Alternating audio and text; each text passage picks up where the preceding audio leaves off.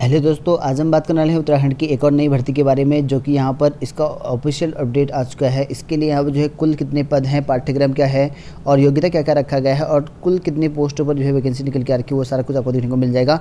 इसमें अलग अलग पोस्ट हैं, आपको अलग अलग कैटेगरी वाइज जो है आपको देखने को मिलेगा। बहुत सारी पोस्ट निकल के आ रखी हैं तो इसके लिए ऑनलाइन आवेदन शुरू हो चुका है तो आप भी आवेदन कर सकते हैं। तो पूरा प्रोसेस देख लेते हैं, इसमें सारा कुछ आपको यहाँ पर देखने को मिल जाएगा इन पदों के लिए। तो देखिए दोस्तों, सबसे पहले बात कर लेते हैं, यहाँ पर एक पोस्ट अन्वेक्षक कम संगणक की पोस्ट आ रखी जिसमें आप लोग यहाँ पर सामान्य कैटेगरी का एक पोस्ट आपको देखने को मिल जाएगा। पैंतीस हज़ार चार सौ स्टार्टिंग सैलरी मिलेगी। इसके लिए जो है, आपके पास एम या एम ए इकोनॉमिक्स या एम ए या एम गणित तथा यहाँ पर जो है कंप्यूटर एवं कंप्यूटर पर जो पाँच हज़ार की जो प्रेशन की प्रति घंटे की स्पीड होनी चाहिए। उसके साथ साथ नेक्स्ट भर्ती यहाँ पर आई है आपकी और मेरे से कम संगणक तीन पोस्ट आपकी आ रही है, जिसमें यहाँ पर दो सामान्य की यहाँ पर जो है पोस्ट है, एक अनुसूचित जाति की पोस्ट है। इसके लिए अगर बात करें, यहाँ पर आपके इक्कीस से बयालीस वर्ष के लिए है और यहाँ पर बीएससी जो है सांख्यिकी या गणित तथा यहाँ पर कंप्यूटर संचालन का जो है प्राथमिक ज्ञान होना ज़रूरी है। तो यानी कि बीएससी मैथ्स वाले भी भर सकते हैं इसको। उसके साथ साथ नेक्स्ट यहाँ पर है, अन्वेक्षक कम संगणक जो कि एक पोस्ट यहाँ पर आ रखी है। इसमें सामान्य कैटेगरी की एक पोस्ट है और सैलरी आपकी उनतीस हज़ार दो सौ स्टार्टिंग है, इक्कीस से बयालीस वर्ष के लिए है। और इसके साथ साथ आपको ग्रेजुएशन में आप जो है, विश्वविद्यालय से गणित के साथ स्नातक की उपाधि या सांख्यिकी होनी चाहिए।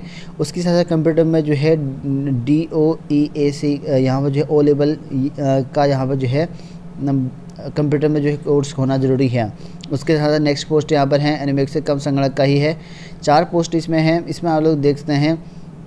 ये जो विभाग हैं, थोड़ा अलग अलग विभाग है, इसमें यहाँ पर महिला सशक्तिकरण बाल विकास विभाग है। इसमें तीन पोस्ट आपके यहाँ पर सामान्य कैटेगरी में है। और टोटल चार हैं अनारक्षित के तीन हैं यहाँ पर, और एक महिला के लिए है।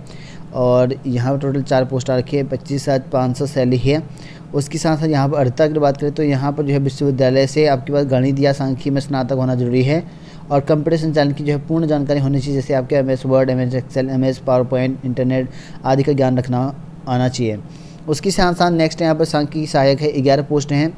इसमें अनुसूचित जाति की दो पोस्टें हैं, एक यहाँ ओ का है, एक ईडब्ल्यूएस का है, सात पोस्ट सामान्य के हैं और सात में से सामान्य के छः जो है अनारक्षित के हैं। टोटल ग्यारह पोस्टें हैं और पैंतीस हज़ार चार सौ स्टार्टिंग सैलरी और इक्कीस से बयालीस वर्ष के अभ्यर्थी और यहाँ पर जो है विश्वविद्यालय से गणित या सांख्यिकी से स्नातक की जो है उपाधि।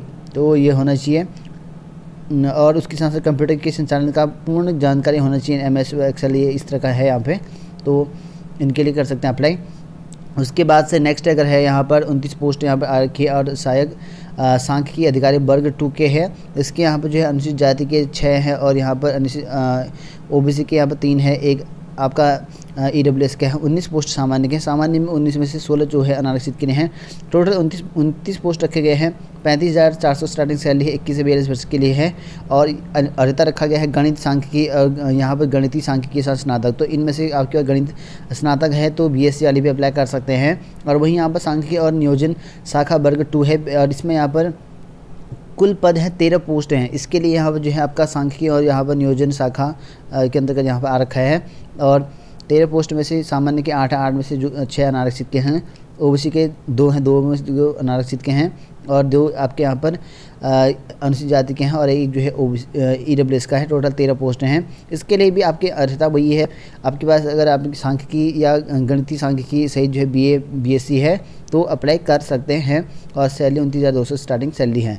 नेक्स्ट पोस्ट है सांख्यिकी जो कि आपकी सहायक सांख्यिकी अधिकारी है, एक पोस्ट है। और इसमें जो है, जो एक पोस्ट है, वो अनुसूचित जाति के कैंडिडेट के लिए है, इक्कीस बयालीस वर्ष है। और यहाँ पर सेम आपको स्नातक को रखा गया है, सांख्यिकी या गणितीय सांख्यिकी में जो है स्नातक को रहना ज़रूरी है। उसके साथ साथ यहाँ पर नेक्स्ट भर्ती यहाँ पर आई है, सहायक शोध अधिकारी की एक पोस्ट है। इसके लिए यहाँ पर जो है, सहायक शोध अधिकारी की जो सामान्य पोस्ट है, सामान्य अभ्यर्थी अप्लाई कर सकते हैं। और इक्कीस बयालीस है, पैंतीस हज़ार से स्टार्टिंग सैलरी है। इसके लिए यहाँ पर जो है आपके पास विश्वविद्यालय से गणित या सांख्यिकी या अर्थशास्त्र के साथ साथ यहाँ पर जो है गणितीय सांख्यिकी या कॉमर्स में जो है स्नातक कोर होना ज़रूरी है। और उसके साथ साथ यहाँ पर ओ लेवल का डिप्लोमा होने भी ज़रूरी है। नेक्स्ट है यहाँ पर सांख्यिकी, सहायक सांख्यिकी अधिकारी, उनतीस पोस्ट यहाँ पर आ रखी है। इसके लिए यहाँ पर जो है इक्कीस पोस्ट सामान्य के हैं। सामान्य इक्कीस में से बारह पोस्ट अनारक्षित के हैं। ऐसे यहाँ पर अनुसूचित जाति के तीन पोस्ट हैं ओबीसी के चार हैं और यहाँ पर ईडब्ल्यूएस के एक पोस्ट टोटल है।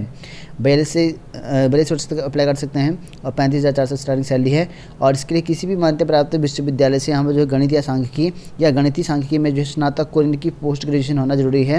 या किसी भी मान्यता प्राप्त विश्वविद्यालय से अर्थशास्त्र में जो है स्नातक को उपाधि और स्नातक की उपाधि में जो है गणित या सांख्यिकी या गणितीय सांख्यिकी एक विषय के रूप में रहा हो। या आपका नेक्स्ट है यहाँ पर कि मध्य प्रदेश संस्थान से सांख्यिकी में जो है दो वर्ष का स्नातक और डिप्लोमा जो कि सांख्यिकी में जो स्नातक की उपाधि तो भी अप्लाई कर सकते हैं। तो इतनी पोस्ट आ रखी है, इसके लिए ये है आपके पास सबके लिए जो है एक ही पेपर होगा कॉमन पेपर होगा, जो कि यहाँ पर होगा। सौ नंबर का पेपर होगा, दो घंटे का लिखित परीक्षा होगी। इस पर जो है आपको यहाँ पर जो है कहा गया है कि जिसमें जो है संबंधित विषय पर जो आधारित प्रश्न होंगे, जो भी संबंधित विषय हैं आपकी सांख्यिकी से रिलेटेड और मैथ से रिलेटेड, इसी से रिलेटेड जो है क्वेश्चन आपके आएँगे और लिखित परीक्षा का जो वेबसाइट कार्यक्रम होगा, यानी कि आपके पास जो सिलेबस होगा, पाठ्यक्रम होगा, वो आपको जो है वेबसाइट में जल्द ही अपलोड कर दिया जाएगा और इसमें यहाँ पर जो है उनके आधार पर जो है मेरिट बनाई जाएगी आपके नंबरों के आधार पर। तो इसके लिए ऑनलाइन आवेदन कर सकते हैं। निःशुल्क आवेदन है और एक जुलाई 2021 को 21 वर्ष होना ज़रूरी है। एक साल की छूट भी आपको मिलेगी गवर्नमेंट के अनुसार और निःशुल्क फॉर्म है। इसके लिए जो है U K P S C U K triple की ऑफिशियल साइट पर जो है आपको आवेदन करना है।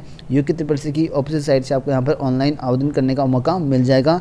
और इसकी अगर बात करें डेट की लास्ट डेट अगर बात करें तो लास्ट डेट आपको यहाँ पर देखने को मिल जाएगा। तो लास्ट डेट आपका यहाँ पर है बारह दो दो हज़ार बाईस को, बारह फरवरी लास्ट डेट है और आज से ऑनलाइन आवेदन शुरू हो चुका है तीस बारह से तो आवेदन कर सकते हैं इसके लिए। जून में इसके अनुमानित परीक्षा की तिथि बताई गई है और ओ करना आपको ज़रूरी है। तो इन पदों के लिए आप आवेदन कर सकते हैं जो कि ऑनलाइन तरीके से आपको आवेदन करना है।